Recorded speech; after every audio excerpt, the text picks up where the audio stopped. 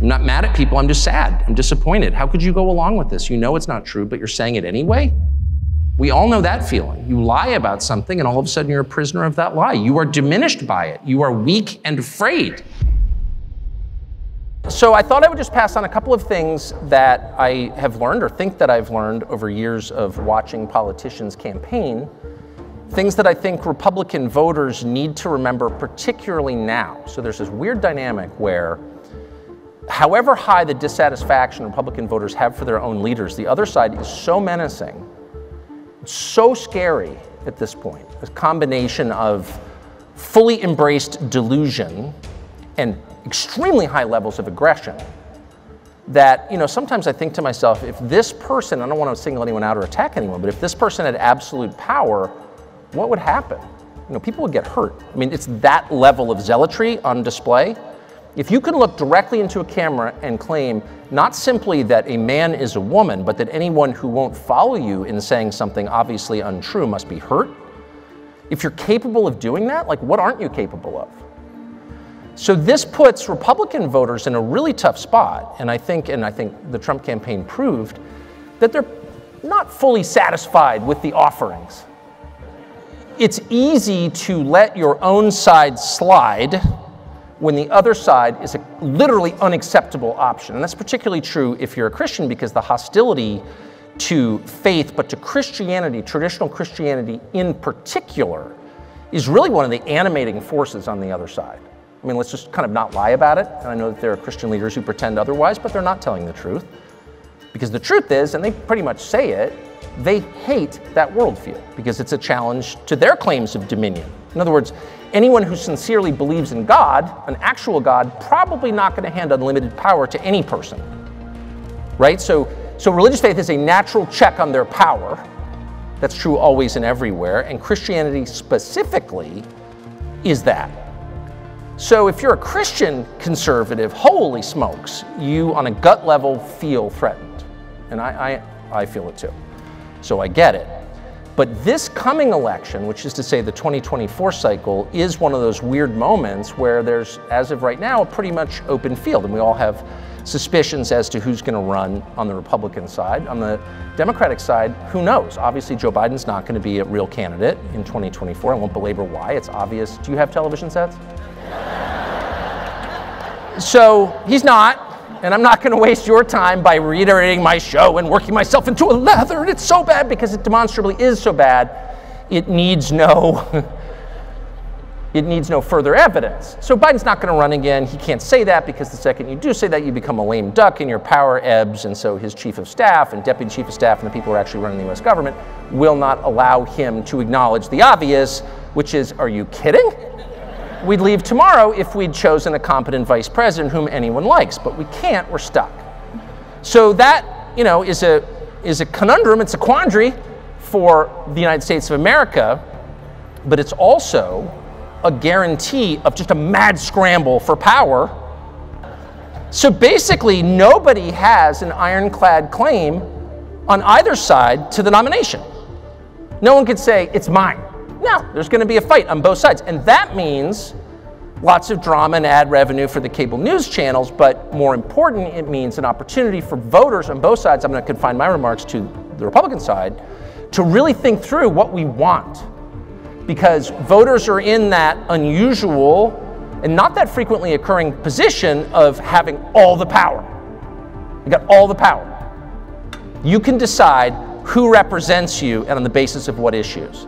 And my advice to you would be take that obligation slash opportunity really seriously. You can make them obey. They don't want an unlimited variety of things, they want to win elections. That's it. That's what they do. They win elections. And if they think doing one thing will get them there, they'll do it. If they think the other will get them there, they'll do it. You know, one out of a thousand has, you know, sincere, deeply held beliefs on which they will not compromise. And you sort of know who they are. They usually run out of Washington immediately because they're a massive threat. Oh, the guy who means it, get out of here. But everybody else can be convinced. They just need vote, voters to ask clearly for certain things. So here's what you should ask for going forward in this coming cycle, which again begins this fall. The first thing you should ask for is candidates who talk about things that actually matter. One of the weirdest phenomenons as a man deep into middle age who was not raised in the digital realm, I was raised in the payphone realm, is the degree to which people live their lives out digitally. And that means their friendships occur online, sometimes their romantic lives occur online, and to a huge extent, their political lives occur online. They decide what's important by reading what other people on social media think is important. I can't imagine a worse way to determine what matters than finding out what's trending on Twitter or what's appearing in your Facebook feed. By the way, those media, by definition, are open to manipulation. Like you can create the appearance of urgency or importance very easily with digital media. So politicians respond to this, and I'm amazed every single day when I watch politicians out there telling me what's the most important thing. Now, you know, I'm older and a little cut off just by definition because of my job, hard for me to go to CVS. But I live enough in the material world that I'm like, wait a second, I don't know a single person who's telling me, as Mitch McConnell recently told us, that the most important thing in the world is to vanquish Vladimir Putin. Now, I'm sorry, you know, like you don't have to be, I'm not a Putin defender, despite what you may have heard. I don't really care one way or the other because he's not my president. He doesn't preside over my country. And what he does in Ukraine, well, I think historically significant, certainly significant to Ukrainians, is not more significant to me than what gas costs. In fact, it's not even in the same universe. The rising price of fossil fuels is not an inconvenience, it's the whole story. Having spent a lot of my life traveling through poor countries, I can, poor countries, by the way, who send people here who immediately succeed in our system, which tells you there, you know, there are smart people in those countries who work hard. That's not the problem. Cheap energy, cheap fossil fuels make the difference between living in the Central African Republic and Des Moines. There are other differences. Nothing is that simple. But if you were to isolate the single largest contributing factor to prosperity, life expectancy, a politically placid system, it would be cheap fossil fuels. That's like why we're rich. And we happen to have the largest reserve of recoverable oil in the world. And so if the price of fossil fuels in our country, holder of these reserves, our single most valuable natural resource, shoots up, that doesn't simply mean it's hard for the proverbial guy with a 100 mile commute. It means everything's more expensive. It means you have less autonomy. Gasoline is autonomy. I can get my truck and drive wherever I want. I don't have to ask permission. It's freedom. But it's the basis of our standard of living. So if, and you don't need to be an economist to know this. So if that rises and you continue to get leaders, leaders that you vote for, whose campaigns you fund, who can look directly into a camera and say the single most important thing in the world is, in a material sense, totally unrelated to your life or the life of any of the other 350 million people who live here, that's a huge problem. That's not democracy. Democracy is the process by which government represents the people who live there. This is a republic, a democratic republic. We are represented by members of Congress and the executive, who by definition are charged with doing what we want because it's our country. So, to the extent that doesn't happen, it's a violation of the democratic principle, the most basic one. And it's also a guarantee of volatility. What happens when people think their votes don't matter? Well, I mean, we, we saw it happen. A January 6th, they get moved to action. They get so frustrated. No one will listen to me. There's nothing I can do about it. I'm showing up. I'm going to go to their doorstep. And over time, it gets worse than that. So if you want to keep your political system stable, you have to pay attention to what people actually want. And you have to pay attention to their deepest concerns, not their peripheral ideological concerns. Are we doing enough for trans swimmers? Can we prevent, you know, Putin from taking Crimea? What are we doing about climate change? I mean, you know, you can make the case those are all important things, I guess, but they are not more important than your actual concerns. And too often, Republican voters, and this is the rule on the left, it should not be on the, the rule in the Republican Party, however, I try to pay attention to the markers the real markers of societal health. And those are the basics. The farther you get away from the basics, the more misled you are, the farther from the target you are. So, what are the basics in your life? Well, if you're a parent, there's one basic. How are the children doing? You're as happy as your unhappiest child. Of course. How are your children doing? How are they doing physically, emotionally, spiritually? Are they thriving? Do they live in a country that promises them the ability to thrive going forward? Will you die knowing your descendants will be as happy and secure as you have been? Is there something that matters more than that? Is there a more important question than that? No, there's not. And anybody who says there is, again, is either so deluded that person should not have power or that person's lying to you. Period. And in retrospect, of course, you never appreciate the significance of things as they happen to you. You can't really know what the movie's about until it ends. But at the time, we didn't really appreciate how, well, two things. One, our entire political orientation was based on this between the United States and the Soviet Union, this cold, very much. And every part of our politics, as you well remember, those of you my age and older remember, every part of our politics revolved around that central conflict. We were in conflict with a country that was both anti markets and anti Christian. And that put in stark relief our own beliefs and what would happen when that ended, when there wasn't that clear contrast. That's the first thing. And of course, the second thing is we could never have known the third week of August 1991, as we saw totalitarianism, that it would ever come here. We just couldn't imagine that. You know, we believe that victories were permanent. They're not, of course. That's the first lesson of history. You know, nothing is permanent except our own demise and God.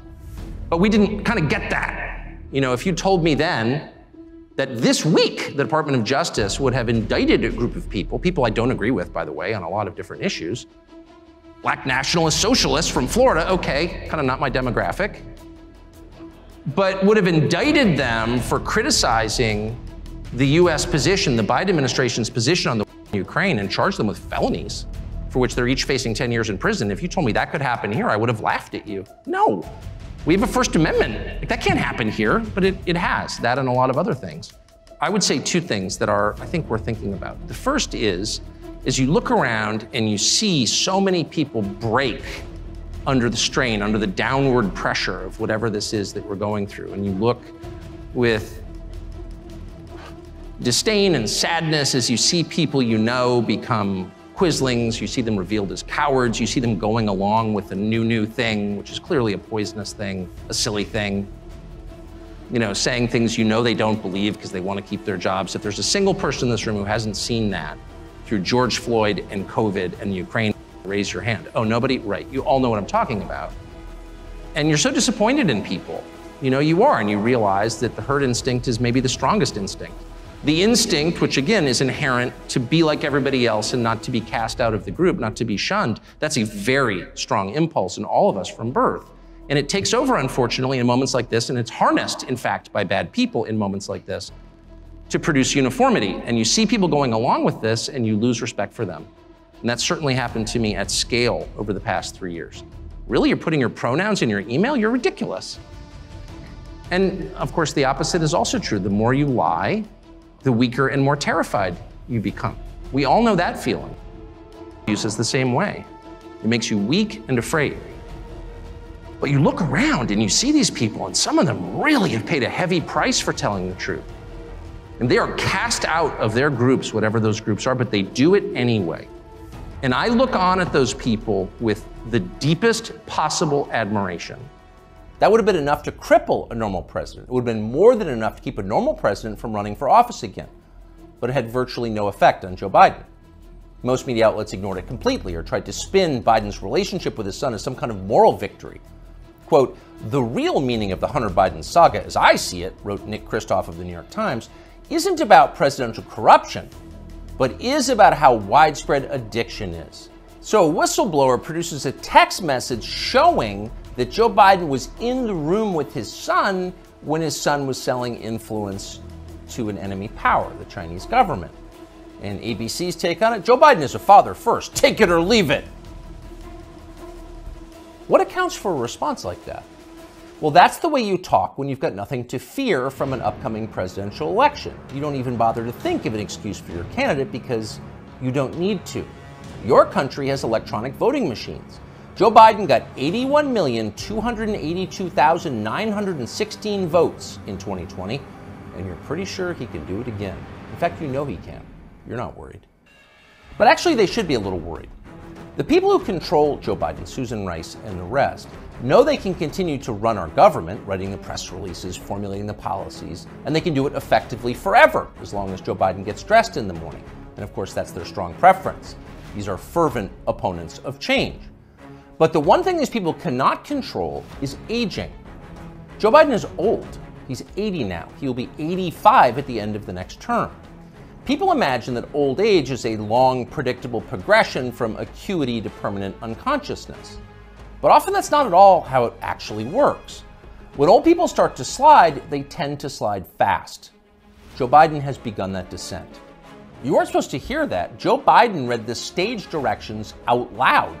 That's like eating the garnish that comes with your entree. You're supposed to know not to do that. Joe Biden no longer does. In a year or two, he will be gone completely, and there will be no hiding it. At that point, the Democratic Party will face a secession problem. If Joe Biden is reelected next year and then forced to leave office during his term due to disability or that means Kamala Harris will become president of the United States. And nobody wants that, not even her husband. In real life, nobody likes Kamala Harris. That's not an attack on her. In fact, it's possible to feel pity for someone who's so universally reviled. It is instead an observation of unchanging physical reality like gravity or photosynthesis. Nobody wants Kamala Harris to be president. No one will benefit if she becomes president. So logic suggests there's going to be a change. It's going to have to be somebody else. And whoever that person is is going to have to enter the race soon, before the election, after Biden drops out. Who could that person be? We don't know, obviously. This is all just guessing.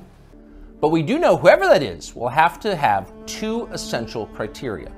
He'll have to be as shallow, ruthless, and transactional as Joe Biden is, and he'll need to have flattery skills that are so polished and advanced they'd be considered superior even in the Saudi royal court. And there's only one man in modern America who fits that description Gavin Newsom, the governor of California, and perhaps not coincidentally, Joe Biden's new closest friend. I am here, Mr. President, Newsom told Biden at an event the two did together last week.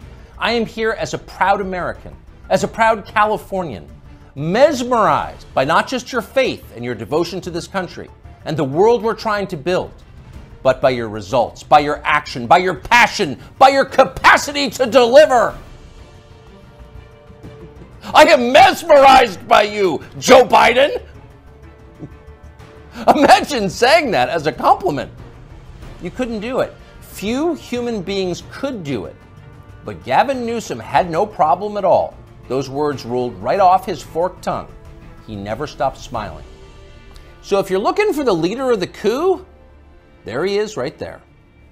If you say, well, you know, I think abortion is always bad, well, I think sometimes it's necessary, that's a debate I'm familiar with. But if you're telling me that abortion is a positive good, what are you saying? Well, you're arguing for child obviously. I, of course, I understand that, and I have compassion for everyone involved. But when the Treasury Secretary stands up and says, you know what you can do to help the economy get an abortion? Well, that's like an Aztec principle, actually. There's not a society in history that didn't practice human. Not one, I checked. Even the Scandinavians, I'm ashamed to say. It wasn't just the Mesoamericans, it was everybody. So, like, that's what that is. What's the point of child? Well, there's no policy goal entwined with that. No, that's a theological phenomenon. And that's kind of the point I'm making. None of this makes sense in conventional political terms. When people or crowds of people, or the largest crowd of people at all, which is the federal government, so that should be the single minded focus of any political party, particularly the Republican Party, because there's no option. The other party is, and this, oh, you see this happen in politics though, never more so than now, the parties, of course, pivot against each other. Oh, you're for that, I'm for the other thing. It's, it's childish, but it's real. So all of a sudden you have a political party that is making a case against having children, making a case for devoting your life to some soulless multinational corporation. I'm not against all businesses, I've always been for free enterprise. But when I hear people say, you know, abortion's the most important thing, the most important right that we have, I ask myself, what are you really saying? I mean, honestly, think about it for a second. And, some, and I am a pro lifer, just to be completely clear, a fervent one. But what are they really saying? So, conservatives, you know, I think very often begin with the debate over whether this is a life and whether abortion is ending a life. Well, that's not really a debate. Everybody knows that it is. Everybody knows. Everybody knows. Even the people screaming, I'm proud of my abortion. If you really felt good about it, you probably wouldn't be so brittle and loud, would you? I'm really happy about my marriage. I'm not putting on a sign and yelling at people, I'm happy with my marriage. Suggests maybe I'm not quite as happy as I claim to be. I'm proud of my abortion. Yeah, no, you're not. You're sad about it because it's inherently sad.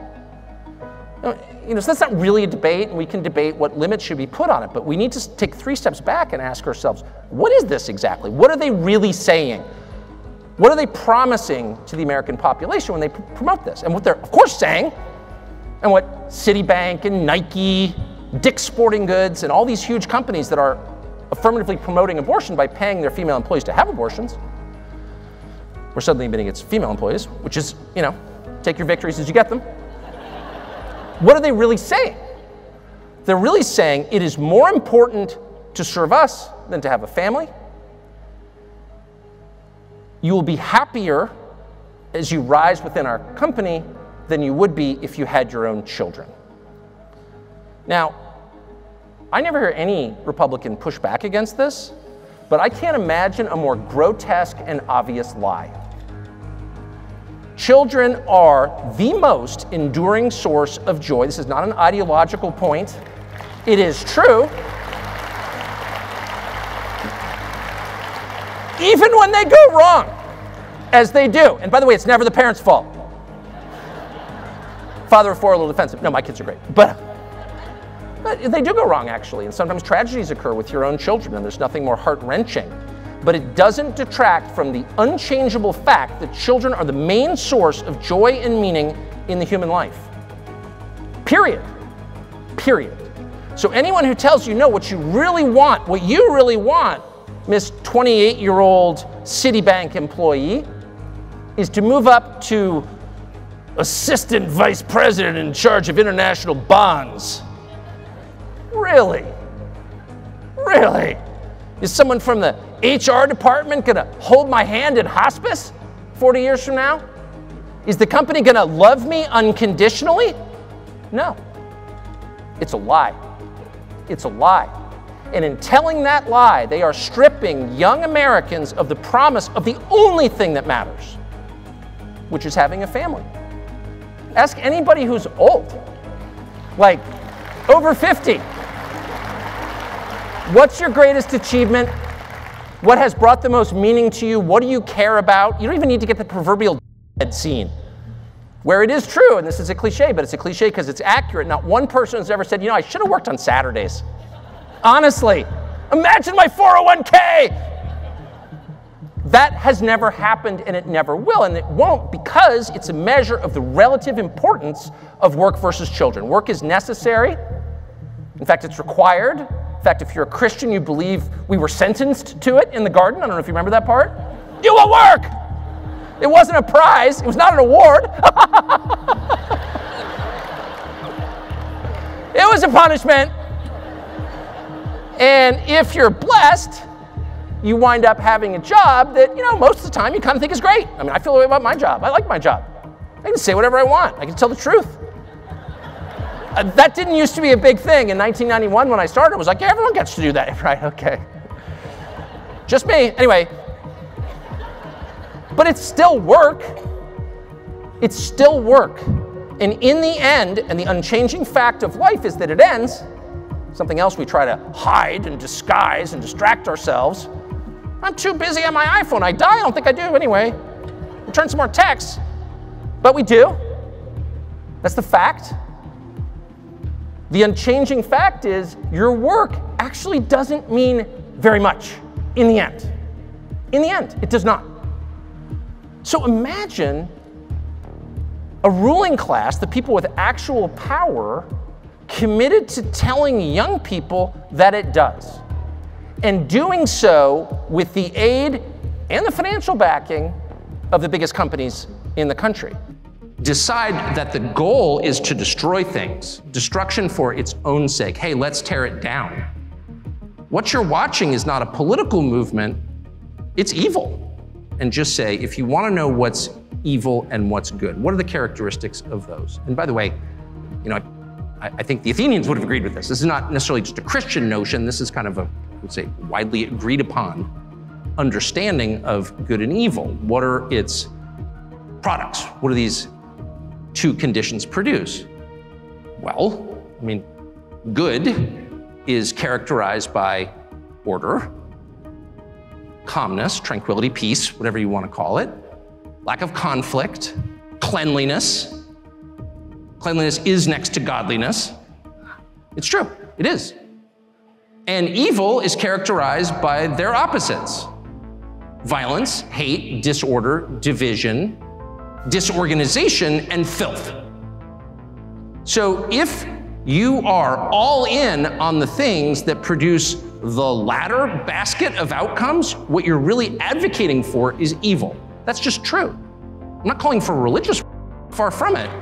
I'm merely calling for an acknowledgement of what we're watching, which is not and I'm not certainly not backing the Republican Party. I mean, ugh. I'm, I'm just noting what's super obvious. Like those of us who are in our mid 50s are caught in the past in the way that we think about this. One side's like, no, no, you know, I've got this idea and we've got this idea and let's have a debate about our ideas. They don't want a debate. Those ideas won't produce outcomes that any rational person would want under any circumstances.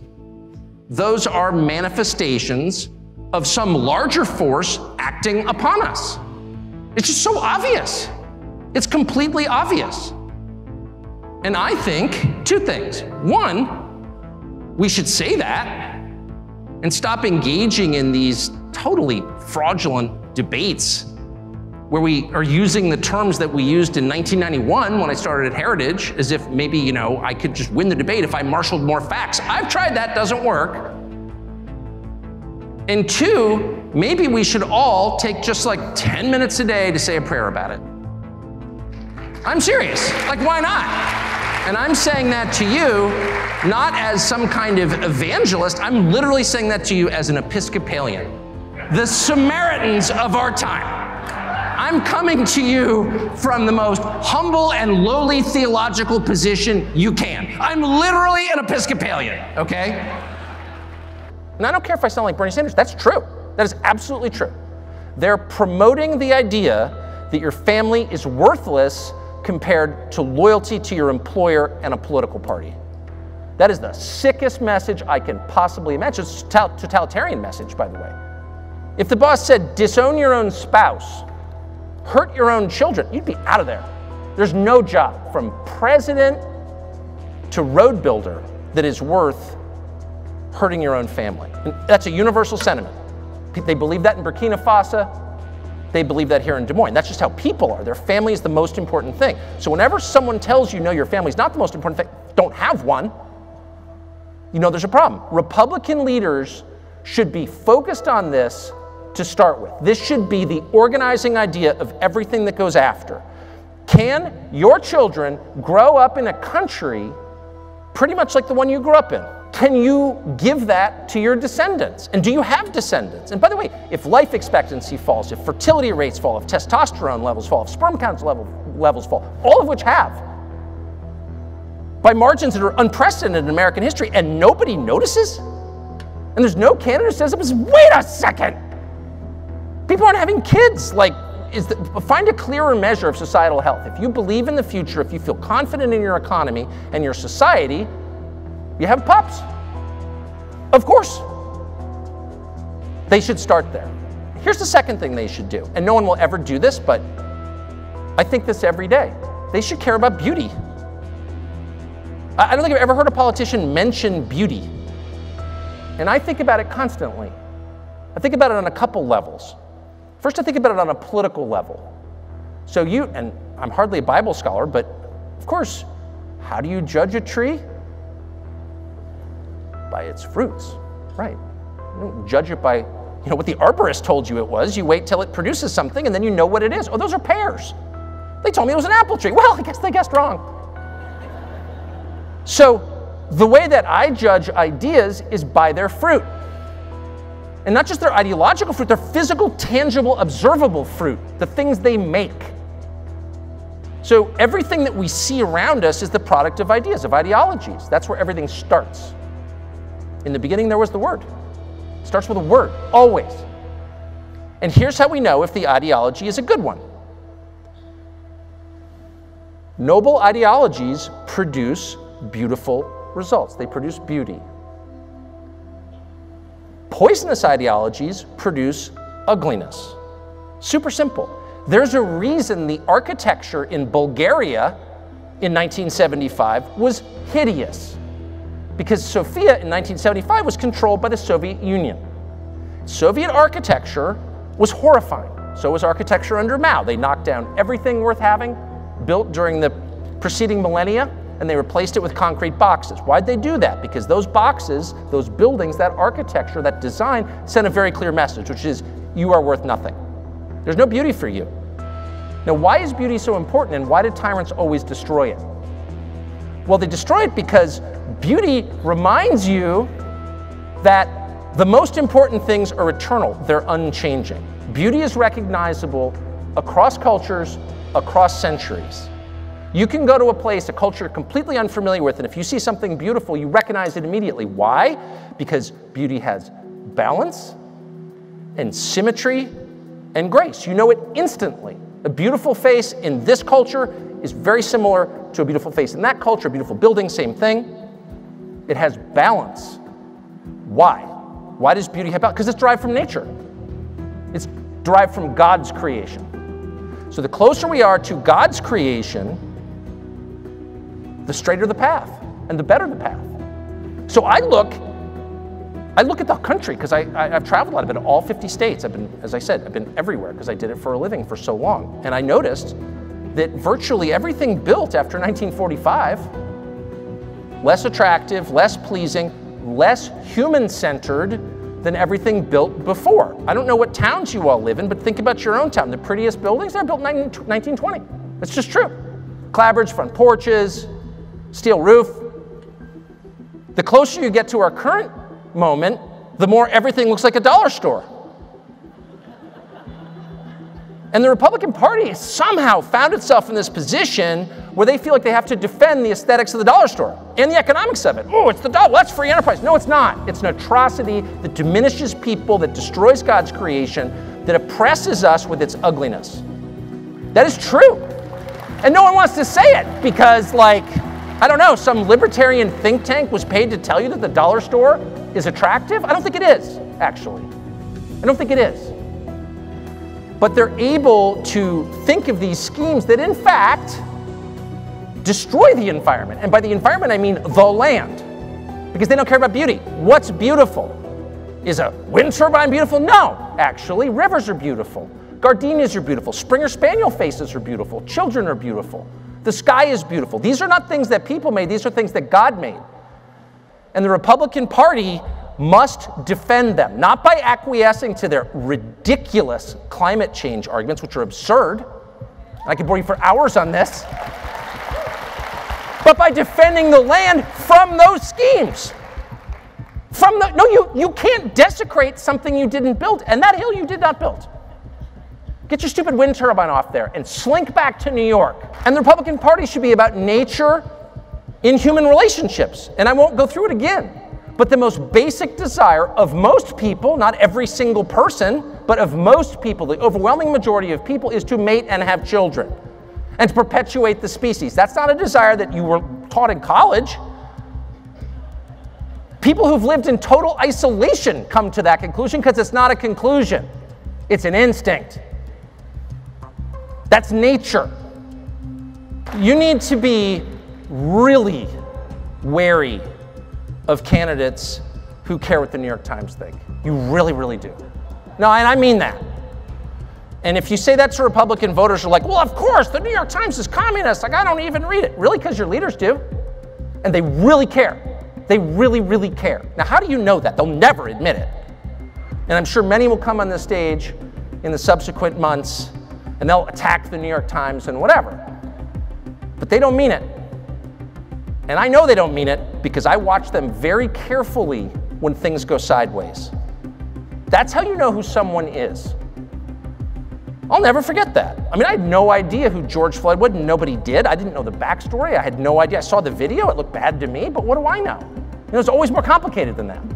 Nikki Haley, who I've always liked, I like Nikki Haley. She's charming, she's smart, popular in South Carolina. Nikki Haley saw that. She's sitting at home. She sent a tweet out that said, I feel this, this is personal and painful to me. And I'm almost quoting. I'll never forget it as long as I live. And then she said, in order for healing to occur, what happens next must be personal and painful for everyone. I thought, really, why is that? And of course, what happened next was personal and painful for everyone. Our, our city's burned down, and a lot of people. And I thought, why should what happened between a cop and George Floyd outside a convenience store in Minneapolis be personal and painful to anybody else? What are you even talking about? Oh, you have no idea what you're talking about. You're trying to please the people whose opinions you actually care about at the New York Times. That's just true. Doesn't mean she's a bad person. I don't think she is a bad person. I like, I've always liked Nikki Haley. She was right here. I tell her to her face, I like you. Don't want you in charge of anything. because, because the second things get intense, the second the other side really unleashes and starts yelling so loudly that you can't think clearly, I want a leader who can still think clearly. So the national media is very much like a swarm of bees. They move together, they understand the New York Times doesn't have power without the Washington Post, NBC News, and CNN. They move as a group, they have the same message, but their main strength is aggression. They just come right at you. You're a racist. What? No, I'm not.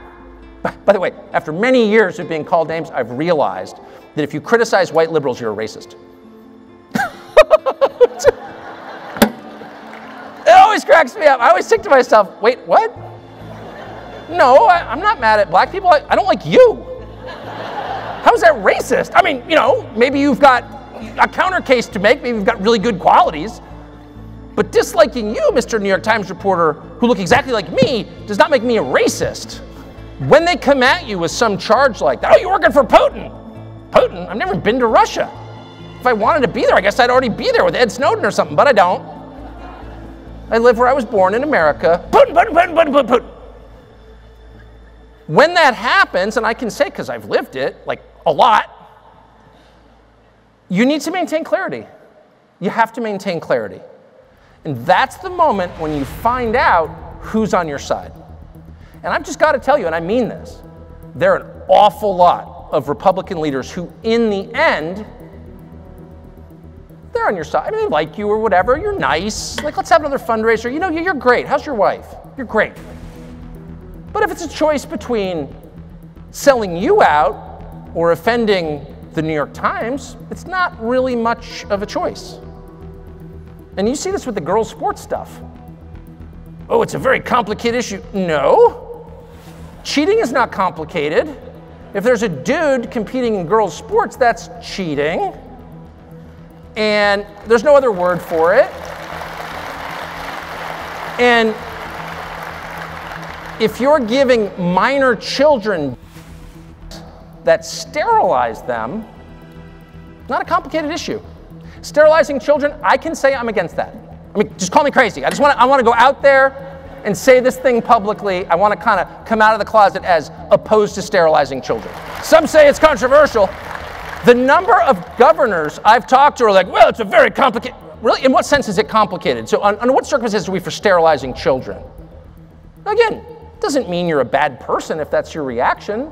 Probably many people's reaction. It does mean you're totally unfit for leadership. You are totally unfit for leadership. To get my vote, you do not need to be an ideologue. You don't need to explain some you know, economic theory. You know, it's okay if you don't fully understand the Austrian school.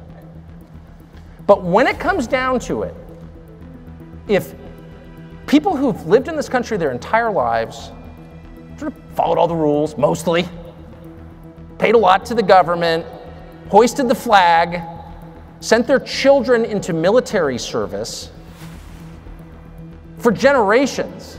If those people are getting shafted and you're not putting everything on the line to protect them and their children and their grandchildren and generations yet unborn, you just, you just don't deserve the vote of anyone. I mean that. So I will stop there.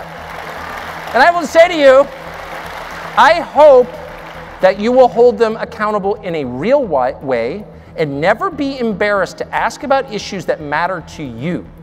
There's no national council that determines what's supposed to matter to America. Twitter isn't real, okay? It's the domain of super unhappy people with empty personal lives and creepy political agendas. What matters to you is what matters to you.